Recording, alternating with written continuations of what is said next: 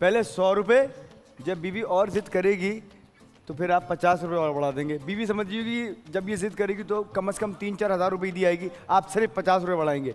Ready go guys ईदी। ईद मुबारक। ईद मुबारक। ईदी तो दे दें। ईदी। ये लो तुम्हारी ईदी। सौ रुपये और याद करो अगली ईद पे नहीं आना फिर मेरे पास। हाँ ये संभाल के रखना। ये सौ रुपये ईदी दिया आपने। तो?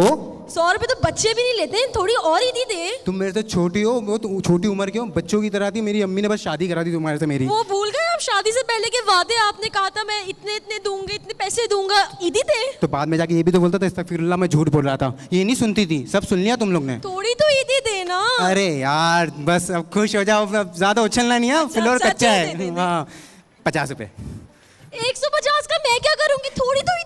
150 का मुझे लोड करो मैं तुमसे फ़ोन पे बातें करूँगा। जैसे शादी तो में शादी हो गई अब क्या बातें करना? तो पहले भी तो बातें करता था पहले तो बड़ा हंस हंस के बातें करते थे जानू जानू अब मामू बन गया तुम्हारा। तो अब तो शोहर हो ना बदकिस्मती से अब तो ईदी दो। शोर हूँ चोर नहीं हो चोरी कर करके लाऊं तुम्हारे लिए। मैं जितने दे सकता हूँ उतने दे दिए तुम्हें।